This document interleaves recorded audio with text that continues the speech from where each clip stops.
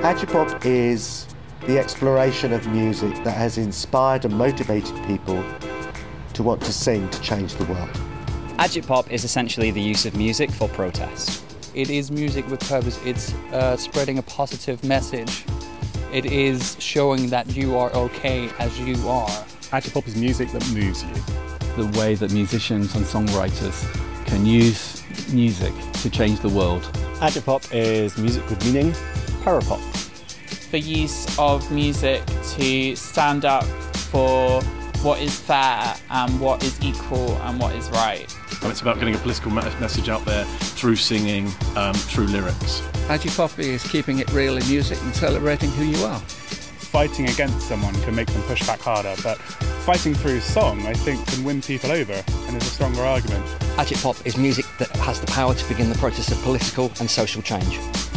Agitpop to me is Ever Falling in Love with Someone You Shouldn't Have by the Buzzcocks because it said nothing about being gay and it said everything about being gay and it said everything about being a teenager and just destroyed because that boy just didn't want to know. I think it brings back memories for so many people of a time or a place where things had to be fought for, where rights had to be fought for.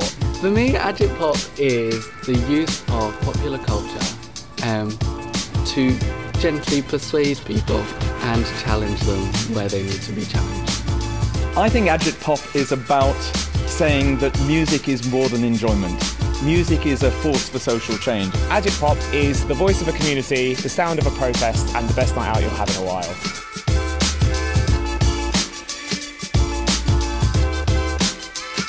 Stand up and be counted, but most of all, be yourself.